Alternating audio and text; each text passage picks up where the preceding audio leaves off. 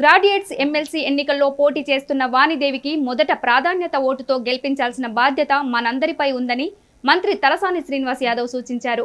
మాజీ ప్రధాని పివి నరసింహరావు కుమార్తె వాణిదేవి పార్టీ తరపున బరిలో నిలవడం సంతోషకరమన్నారు. రాజకీయాలకు అతీతంగా విద్యావేత్తగా ముప్పై ఐదు ఏళ్ళుగా సేవలు చేస్తున్న వాణిదేవి తొలిసారిగా ఎన్నికల్లో నిలిచారని చెప్పారు. ఎమ్మెల్సీ ఎన్నికల్లో భాగంగా సనత్నగర్ నియోజక పార్టీ నేతలకు దిశానిర్దేశం చేశారు.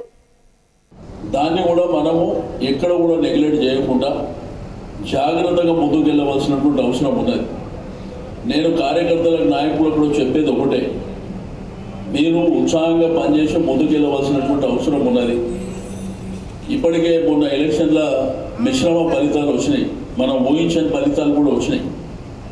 కాబట్టి మీరు ఓవర్ కాన్ఫిడెన్స్లో పోకుండా రెండోది మీకు ఇచ్చినటువంటి మీ డివిజన్లో ఉన్నటువంటి పోలింగ్ బూత్లు ఎన్ని ఉన్నాయి?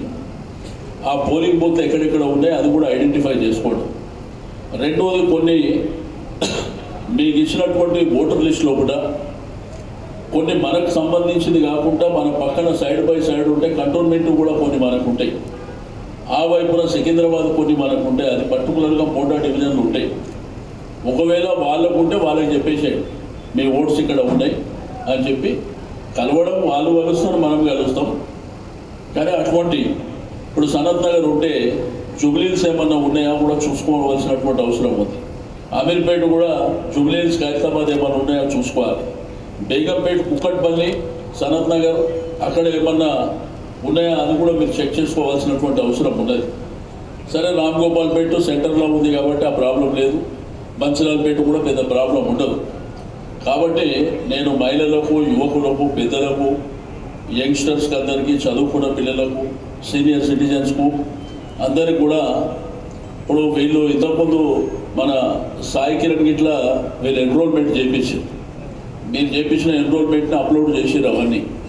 ఆ డీటెయిల్స్ కూడా ఒకసారి అందరికి ఇస్తే అవి కూడా అందరికి ఇచ్చేసేయండి. అందరితో ఒక గ్రూప్ మీటింగ్ పెడితే మేము వస్తాం. నేను కమలాకర్ అన్న వాళ్ళ దగ్గరకు వస్తాం. వాళ్ళు పది మంద యాభై మంద వంద మంద ఐదు వందల మంద ఎంతమంది అయినా కానీ వాళ్ళతో ఇంటరాక్ట్ కావాల్సినటువంటి ఇప్పుడు ఏంటంటే మనం పాదయాత్ర చేసినప్పుడు మొత్తం కాన్ఫరెన్స్ అంతా చేస్తాం. ఇది అట్లా కాదు. గ్రాడ్యుయేట్ ఎట్లా ఉంటుందంటే మీకు అందరికి ఐడియా ఉన్నది. ఒక బస్తీ మొత్తంలో కలిపితే పది ఓట్లు ఇరవై ఓట్లు ఉంటాయి. వంద ఓట్లు ఉంటాయి.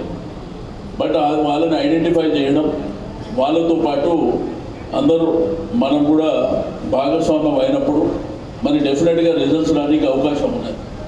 ఎందుకంటే ఎవరు ఊహించని విధంగా ఒక బ్రహ్మాండమైనటువంటి క్యాండిడేట్ని మనకి ఇచ్చారు ముఖ్యమంత్రి గారు వాణిదేవి గారు.